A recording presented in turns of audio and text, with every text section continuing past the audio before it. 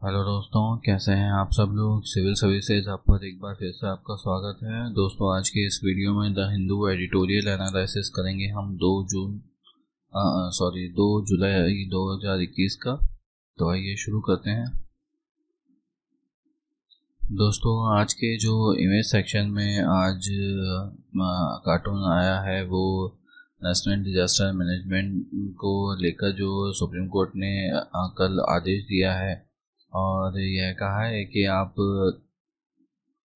Six weeks में एक guideline तैयार कीजिए और उस गाइडलाइन के अकॉर्डिंग जितने भी जो कोविड नाइन्टीन से अफेक्टेड जितने भी लोग हैं, जिनको इस महामारी में नुकसान हुआ है, उनको कंपनसेशन दीजिए। ऐसी बात सुप्रीम कोर्ट ने कही है तो उसी पर ये कार्टून आज का छपा है जिसमें नेशनल डिज़ास्टर मैनेजमेंट अथॉरिटी है उसको आ, उसका जो रूल रेगुलेशन है उसको चेंज कर दिया है इन्होंने तोड़ दिया है मैनेजमेंट को। तो इस प्रकार की इसमें दर्शाई गई है मंशा और प्रधानमंत्री जी को यहाँ पर इसलिए दिखाया गया है क्योंकि जो एन डी में का जो चेयरमैन होता है, वो प्राइम मिनिस्टर होते हैं, प्रधानमंत्री होते हैं, इसलिए इनकी फ़ोटो यहाँ पर दिखाई गई है। प्रधानमंत्री जी को ही इसमें सबसे ज़्यादा चौंकाने वाला रिज़ल्ट मिला है। तो ऐसी बात इस पोस्टर इस कार्टून के द्वारा दिखाई जा रही है। चलिए बढ़ते हैं, अपने पहले एडिटोरियल की तरफ़। दोस्तों ये जो एडिटोरियल है वो पेंडेमिक से रिलेटेड जो सुप्रीम कोर्ट ने ऑर्डर दिया है, उसी के ऊपर ही है। काफ़ी बार हम कई आर्टिकल्स में, कई न्यूज़ सेक्शंस में हम इसे डिस्कस कर चुके हैं। बस एक थोड़ा ओवरव्यू लेंगे कि क्या सुप्रीम कोर्ट ने कहा है और उसका क्या इम्पैक्ट होने वाला है। सुप्रीम कोर्ट ने, दोस्तों, जैसा कि आपको पता ही है कि जो एन डी एम ए है, उसे डायरेक्शन दिया है और सिक्स वीक्स का उसे टाइम दिया गया है कि छः वीक में आप एक गाइडलाइन तैयार कीजिए और जो कोविड नाइन्टीन से, जो इम्पैक्ट हुए हैं लोगों का, जिसमें कोविड नाइन्टीन का, महामारी का, जिसके ऊपर प्रभाव पड़ा है, उन्हें आप कंपनसेशन प्रोवाइड कीजिए, जो कि चार लाख का कंपनसेशन है। बाकी इस कंपनसेशन इस कंपनसेशन को उनके द्वारा जो किसी तरीके से कम या ज़्यादा किया जा सकता है, लेकिन जो डिजास्टर मैनेजमेंट एक्ट के अंतर्गत जो लोग इस क्राइटेरिया में आते हैं, जैसे कि मिनिमम स्टैंडर्ड ऑफ़ लाइफ कहा जाता है, जो जीवन की जो ज़रूरी चीज़ें हैं, उनका नुकसान होता है, जीवन की ज़रूरी चीज़ें जिनको अब नहीं मिल पाती हैं। डिजास्टर के कारण उनके या तो पेरेंट्स की डेथ हो जाती है या कोई उनके जो जॉब्स हैं या कोई एस्टेब्लिशमेंट है, उनका नुकसान होता है तो इसी वजह से जो मिनिमम स्टैंडर्ड ऑफ़ लाइफ है, उसका अगर किसी को नुकसान होता है तो ऐसी स्थिति में उसे कंपनसेशन देना ज़रूरी होता है और कंपनसेशन उसे दिया जाना चाहिए। आपको पता होगा कि पूर्व में जब सेंट्रल गवर्नमेंट से इस तरीके की बात कही गई थी तो सेंट्रल गवर्नमेंट ने इसे स्पष्ट तौर पर मना कर दिया था और ये कहा था कि ये वन टाइम कैलामिटी नहीं है। एक बार आने वाली कैलेमिटी नहीं है और इसको लेकर जो कंपनसेशन देना जो पॉसिबल नहीं है और बड़े लेवल पे ये कैलेमिटी है तो इतना जो फंड है वो केंद्र सरकार के पास में उपलब्ध नहीं है। इसके अलावा जो एन को जो गाइडलाइन दी है, सब सुप्रीम कोर्ट ने उसमें यह भी कहा है कि जो वर्कर्स हैं, जो वर्कर एक स्टेट से दूसरे स्टेट में कार्य करते हैं, उन वर्कर्स का रजिस्ट्रेशन भी आपको करना पड़ेगा। रजिस्ट्रेशन अगर आप पहले से करके रखते तो आपको यह स्थिति देखने को नहीं मिलती। तुरंत प्रभाव से आपको वो लोग मिल जाते हैं जिन्हें कंपनसेशन की ज़रूरत है। इसलिए रजिस्ट्रेशन का प्रोसेस स्टार्ट करने के लिए भी सुप्रीम कोर्ट ने जो एनडीएमए को कहा है और national database for organise worker जो है, उनके लिए एक डाटाबेस तैयार करने की बात कही गई है, जिसे एनडीयूडब्ल्यू कहा गया है। इस डाटाबेस के अकॉर्डिंग ही जो कंपनसेशन है, उसे आगे दिए जाने की बात कही गई है और इस महामारी के दौर में कोई भी व्यक्ति भूखा नहीं सोए ऐसी स्थिति को क्रिएट करने के लिए डाटाबेस तैयार किया जाएगा, जिसकी शुरुआत इकतीस जुलाई से की गई है। इकतीस जुलाई से यह डाटाबेस का रजिस्ट्रेशन स्टार्ट हो जाएगा। यह डेडलाइन इकतीस जुलाई सुप्रीम कोर्ट के द्वारा स्थापित कर कर एन को डायरेक्शन दी गई है। तो इस प्रकार से जो सुप्रीम कोर्ट है, वो वर्कर्स के और फैमिलीज़ के जो कंपनसेशन है, उसके लिए बार बार जो नए आदेश हैं, वो दे रहा है और कह रहा है कि एक्स गेटियर जो अनुग्रह पूर्वक आप जो भी कंपनसेशन उन्हें दे सकते हैं, वो कंपनसेशन प्रोवाइड कराइए। बढ़ते हैं अगले आर्टिकल की तरफ़।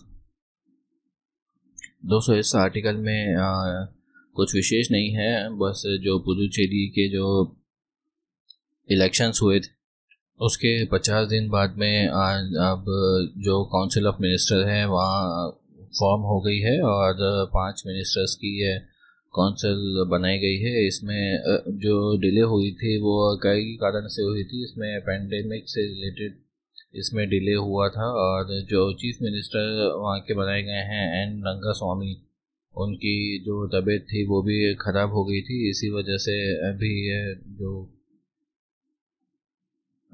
डिले है वो देखने को मिला है। दूसरी ओर जो एनडीए की पार्टी का जो अलायंस था, वो ऑल इंडिया एनआर कांग्रेस के साथ में था और उससे गठबंधन में भी थोड़ा सा प्रॉब्लम होता था।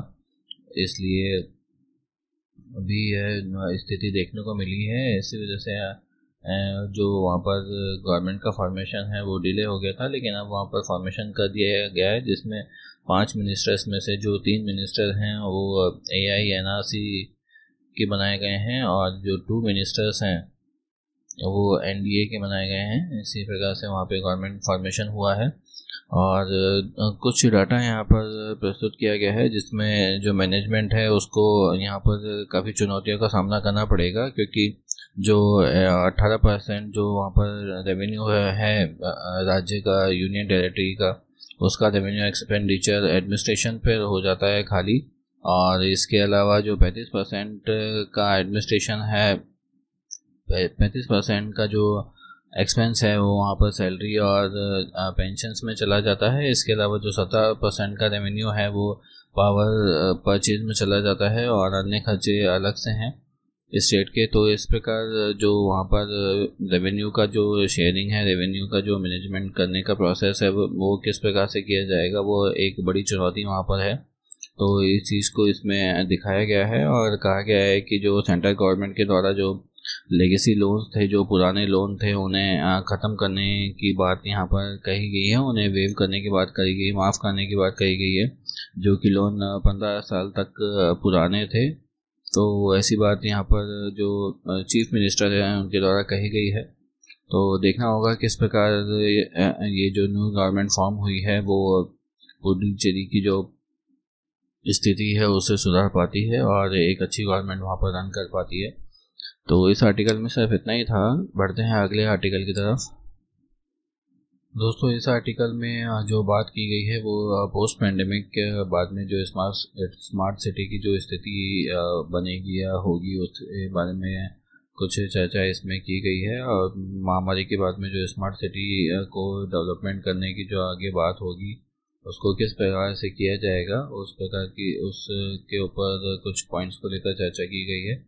और डिटेल में इस आर्टिकल को देखेंगे। दोस्तों, जो एनडीए की गवर्नमेंट थी, उसने जो स्मार्ट सिटी मिशन चालू किया था, उस स्मार्ट सिटी मिशन में उन्होंने जो कई सिटीज़ चूज़ की थी, उन्हें एक नेशनल और इंटरनेशनल लेवल पर उन्हें डेवलप करने की बात कही थी और ये जो मैनिफेस्टो था उनका 2014 का इलेक्शन का, उसमें इस बात को उन्होंने दोहराया था कि इस तरीके से हम एक हंड्रेड स्मार्ट सिटीज़ का एक प्रोजेक्ट तैयार करेंगे और इसे इम्प्लीमेंट करेंगे, जिससे कि वो वर्ल्ड लेवल पर डेवलप हो सके सिटीज़ तो इस प्रकार से ये स्मार्ट सिटी मिशन जो चलाया गया था, वो भारत सरकार का एक नेशनल मिशन था.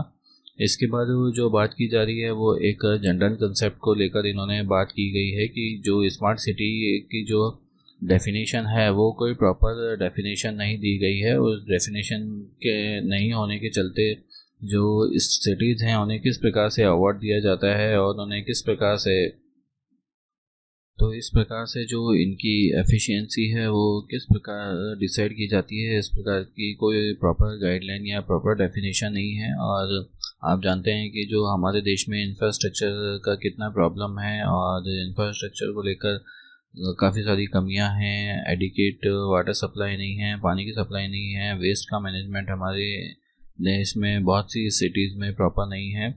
और इसके अलावा जो हाई लेवल का पॉल्यूशन है, इस तरीके की चीज़ें भी हैं, लेकिन कोई प्रॉपर जो डेफिनेशन है वो स्मार्ट सिटी की नहीं है। और किस प्रकार का इम्प्रूवमेंट जो इस मिशन के दौरान इन सिटीज़ में किया जाता है, उसका भी कोई प्रॉपर गाइडलाइन प्रोवाइडेड नहीं किया गया है। तो ऐसी स्थिति में स्मार्ट सिटी किस प्रकार की होगी और किस प्रकार से उसे डेवलप किया जाएगा, इस प्रकार, इसके बारे में कोई प्रॉपर सिनेरियो क्रिएटेड नहीं है तो उसके बारे में यहाँ पर बताया गया है कि ऐसी स्थिति में जो स्मार्ट सिटी है, उसे आप किस प्रकार स्मार्ट सिटी कहेंगे या उसे बनाएँगे तो उसके बारे में प्रॉपर गाइडलाइन या प्रॉपर जो डायरेक्शंस हैं, वो प्रोवाइड नहीं की गई हैं।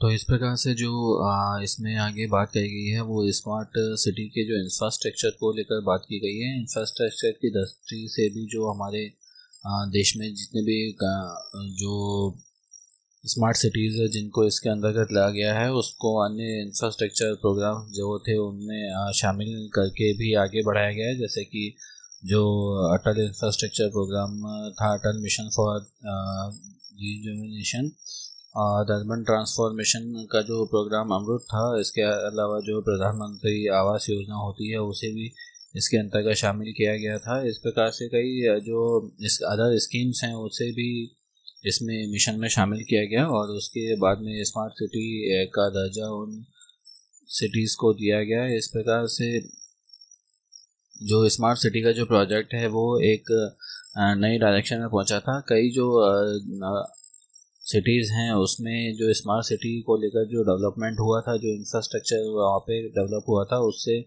जो महामारी थी, अभी उसमें काफ़ी मदद मिली थी। उस इंफ्रास्ट्रक्चर के दौरान जो भी व्यवस्था कोविड को लेकर की जानी थी, वो व्यवस्था आसानी से हो पाई थी। इस प्रकार की बात इस आर्टिकल में कही गई है। कुल मिलाकर जो इस आर्टिकल में बात की गई है, वो यह इंफ्रास्ट्रक्चर को लेकर बात की गई है और फैसिलिटीज़ को लेकर बात की गई है। आपको ये पता होगा कि जो भी स्मार्ट सिटी होती हैं, वहाँ पर अगर मान लीजिए रोड नहीं है तो वो डेवलप्ड सिटी नहीं मानी जा, नहीं है तो एक बार को वहाँ पे डेवलप सिटी का कोई दर्जा उन्हें दिया भी नहीं जाता। लेकिन अगर कोई बाइसिकल के लिए अगर ट्रैक ट्रैक है किसी डिस्ट्रिक्ट में या किसी सिटी में तो उसे एक डेवलप सिटी के रूप में देखा जाता है। तो इस प्रकार के जो डेवलपमेंट है वो हमें आगे करना होगा। स्मार्ट सिटी अगर हमें अपने जो जिलों को बनाना है या शहरों को बनाना है तो उसे वाकई में स्मार्ट बनाना होगा और साथ में जो लिविंग इंडेक्स है, उसे भी इम्प्रूव करना होगा। इस प्रकार की बात इस आर्टिकल में कही गई है। केवल स्मार्ट सिटी होने से या जो सेंटर में जो गवर्नमेंट है, उस गवर्नमेंट से रिलेटेड जो स्टेट्स हैं, उस स्टेट में किसी भी स्टेट को एक स्मार्ट सिटी का दर्जा देने से ही यह प्रोसेस पूरा नहीं होगा। हमें वाकई में उन्हें स्मार्ट बनाना होगा। और जो सभी प्रकार के जो डेवलपमेंट्स हैं, सभी प्रकार के जो स्टेटस है, वो स्टेटस का डेवलपमेंट वहाँ पर करना होगा। तभी स्मार्ट सिटी का जो हमारा प्रोजेक्ट है और जो सपना है, वो पूरा हो पाएगा। इस प्रकार की बात इस आर्टिकल में कही गई है। दोस्तों स्मार्ट सिटी से रिलेटेड कुछ विशेष बातें हैं जो आपको पता होनी चाहिए तो आइए उन्हें देखते हैं। सबसे पहले जो स्मार्ट सिटी मिशन है, वो शहरी क्षेत्रों में लागू किया गया है। शहरी क्षेत्रों में देश की जनसंख्या का इकतीस परसेंट हिस्सा इसमें पाया जाता है और जीडीपी का जो तिरपन परसेंट हिस्सा है वो शहरी क्षेत्र से आता है।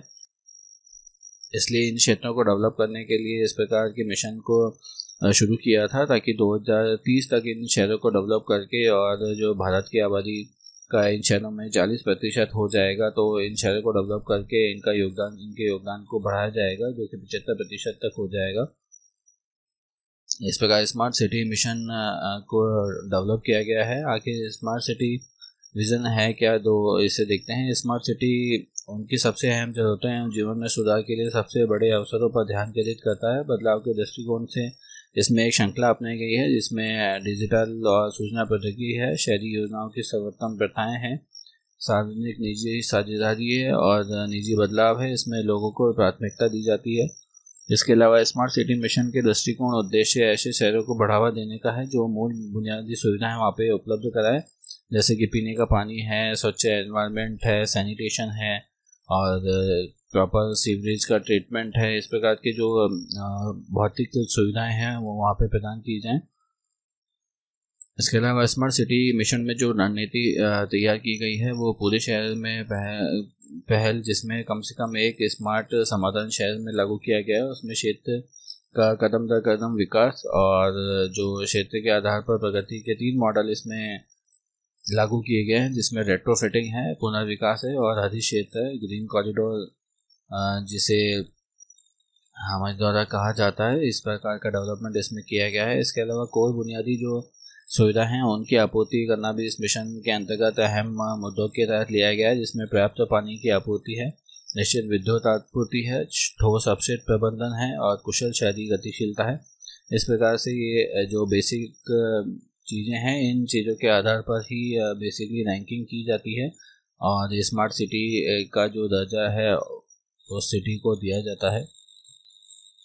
इसके अलावा किफ़ायती आवा, आवास हैं जो अफोर्डेबल आवास हैं जो पीएम आवास योजना के अंतर्गत दिया जाता है। इसके अलावा विशेष रूप से गरीबों के लिए सुदृढ़ आई कनेक्टिविटी और डिजिटलाइजेशन भी है। ई गवर्नेंस है टिकाऊ पर्यावरण है। कुल मिलाकर एक शहर में जो सुविधाएँ बेसिक होनी चाहिए और कंप्लीट सुविधाएँ जो होनी चाहिए उन कंप्लीट सुविधाओं को प्रोवाइड कराने के उद्देश्य से ही स्मार्ट सिटी का जो विज़न है वो देखा गया है और इसी तरीके से डेवलप किया जा रहा है।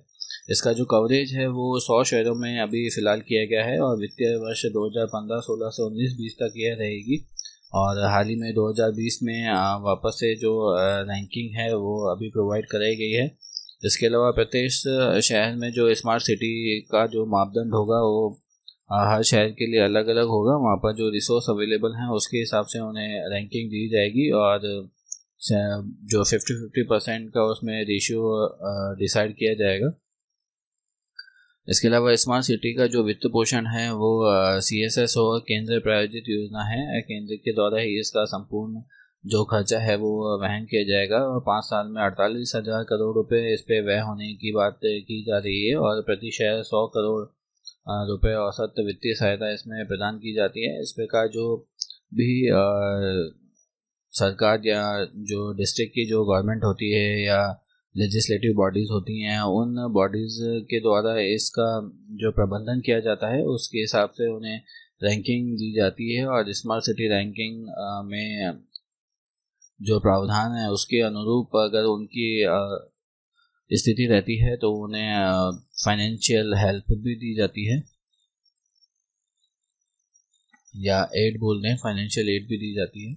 इस प्रकार की बात इस स्मार्ट सिटी योजना में की गई है। कुल मिलाकर दोस्तों जो स्मार्ट सिटी का जो विज़न है हमारा, वो तभी पूरा हो पाएगा जब एक सही तरीके से जब सिटीज़ में सारी सुविधाएँ उपलब्ध होंगी और उन सारी सुविधा को उपलब्ध करने के लिए एक बड़े रिसोर्स लेवल की आवश्यकता है, उस रिसोर्स लेवल को हमें डेवलप करना होगा, तभी जो स्मार्ट सिटी का जो मिशन है वो हमारा कंप्लीट हो पाएगा।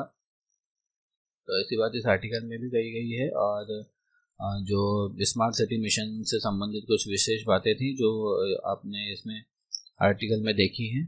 चलिए बढ़ते हैं अगले आर्टिकल की तरफ़। दोस्तों, इस आर्टिकल में जो दिल्ली में आपने हाल ही में देखा होगा कि दिल्ली जो राजधानी क्षेत्र है, उसमें विशेष प्रावधान लागू किया गया है, जिसमें सेकेंड अमेंडमेंट किया गया है। इस सेकेंड अमेंडमेंट के द्वारा जो असेंबली थी, उसकी पावर्स को कट किया गया है और उन्हें कई ऐसे क्षेत्र हैं जिन पर बोलने का अधिकार है, वो कट किया गया है। तो इस प्रकार की बात इसमें कही गई है। दोस्तों, इसमें कुछ संवैधानिक प्रॉब्लम इसमें बताई गई है। और वो ये कहा गया कि जो सेंटर है उसमें नाइनटीन में जब ये एक्ट बनाया गया था तो उस समय पर इसमें यह प्रावधान किया गया था तो दिल्ली की जो शहर से दिल्ली से जो संबंधित जो डिसीज़न है, वो दिल्ली की असेंबली ले पाएगी। लेकिन अभी इसमें संशोधन कर कर वहाँ पे जो डेवलपमेंट से संबंधित जो भी डिसीज़न है, वो वहाँ की असेंबली नहीं ले पाएगी। ऐसा संशोधन अमेंडमेंट जो सेंट्रल गवर्नमेंट के द्वारा किया गया है, जो कि संवैधानिक बताया जाता है, उसी के ऊपर इसमें चर्चा की गई है और बोला है कि जो सेंटर के द्वारा किसी स्टेट विशेष की जो पावर हैं, उन्हें जो रोका जा रहा है और उन्हें जो कट किया जा रहा है, वो संवैधानिक नहीं है और इस प्रकार से जो फेडरल स्ट्रक्चर है संप्रभुत्व स्ट्रक्चर जो हमारी कंट्री का है, वो ब्रेक होता है, उसे नुकसान होता है। तो देखते हैं जो राजधानी क्षेत्र दिल्ली कानून का विशेष जो प्रावधान किया गया था, वो क्या कहता है? दोस्तों, इसमें राजधानी क्षेत्र दिल्ली कानून संशोधन 2021 को 8 फरवरी 2021 को राज्यसभा में पेश किया गया था और और जो कि दिल्ली कानून विशेष प्रावधान द्वारा संशोधन अध्यादेश 2020 को रद्द करता है और 30 दिसंबर 2020 को जारी किया गया था, जो इसके अलावा जो ये बिल है, वो संशोधन कानून 2011 में संशोधन करता है।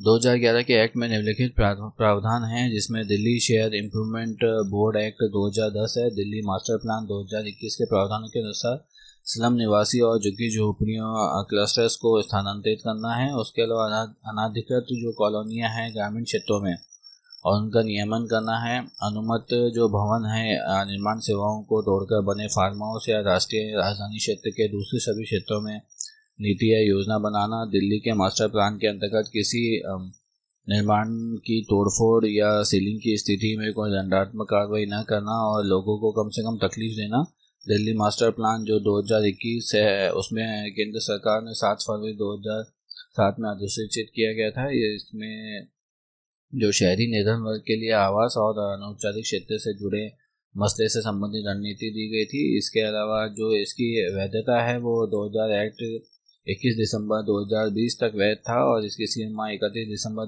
2023 तक बढ़ा दी गई है। अब 2023 तक यह एक्ट वैलिड रहेगा। इसके अलावा अनाधिकृत कॉलोनी का जो नियमितीकरण इनके द्वारा किया जाता है, उस पर भी इसमें चेंजेस किया गया है, जिसमें 2011 के एक्ट के अनाधिकृत कॉलोनी के नियमितीकरण का प्रावधान है, जो कि 31 मार्च 2002 को मौजूद थी और जहाँ 1 जून 2014 तक का निर्माण हुआ था। बिल के संशोधन किया गया है कि और कहा गया है कि अनाधिकृत जो कॉलोनियाँ हैं, उनको राष्ट्रीय राजधानी क्षेत्र दिल्ली के निवासियों की संपत्ति के अधिकार को मान्यता देने वाला जो 2019 का एक्ट है और राष्ट्रीय राजधानी क्षेत्र दिल्ली कॉलोनी के निवासियों के संपत्ति के अधिकार की को जो रेगुलेट करता है 2019 उसके अनुसार नियमितीकरण के लिए चिन्हित किया गया है तथा इस प्रकार की जो अनाधिकृत कॉलोनी है, उसमें एक जून 2024 को जो मौजूद थी और एक जनवरी 2015 तक जो 50 परसेंट विकसित हो गई थी, उनके नियमन के लिए पात्र जो है स्टेट गवर्नमेंट को किया गया है। कुल मिलाकर आप देखेंगे कि जो इस एक्ट में जो भी चेंजेस किए गए हैं वो सेंट्रल गवर्नमेंट के द्वारा किए गए हैं और सेंट्रल गवर्नमेंट को जो यह चेंजेस हैं वो एक स्टेट गवर्नमेंट के लेजिस्लेटिव लेजिस्लेचर में करने की जो प्रा, सुविधा प्राप्त नहीं है और वह ऐसी पावर प्राप्त नहीं है इस प्रकार से वो चेंजेस नहीं कर सकते हैं। इस प्रकार की बात इस आर्टिकल में कही गई है और जो स्टेट का जो पावर है वो स्टेट के पास में ही होना चाहिए चाहे वो केंद्र शासित प्रदेश हो या आ, कोई भी स्वतंत्र राज्य हो ऐसी बात इस आर्टिकल में कही गई है और जो एक्ट में जो संशोधन किया गया है उससे संशोधन से जो बिल का सारांश है वो यहाँ पे प्रस्तुत है इसे आप ध्यान में रखिएगा। कुल मिलाकर जो डेवलपमेंट से रिलेटेड जो भी चीज़ें हैं उन्हें यहाँ पे चेंज किया गया है और जो स्लम का एरिया है या कोई भी कॉलोनी है उसे रेगुलराइज अगर करना है तो उसकी पावर जो कटेल की गई है, जो कमी की गई है या किसी प्रकार की पावर उन्हें प्रदान की गई है इस एक्ट के दौरान। तो इस प्रकार की बात इस आर्टिकल में कही गई है। चलिए बढ़ते हैं अगले आर्टिकल की तरफ़।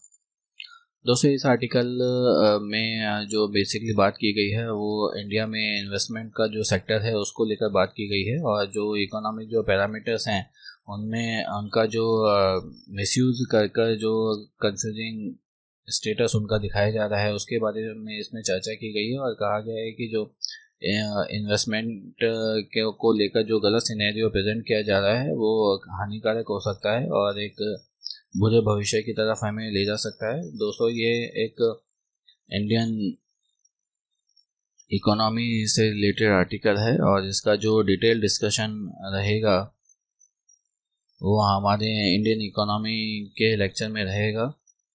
तो इसलिए इसका डिटेल जो एनालिसिस था, वो हम इस लेक्चर में कवर करेंगे।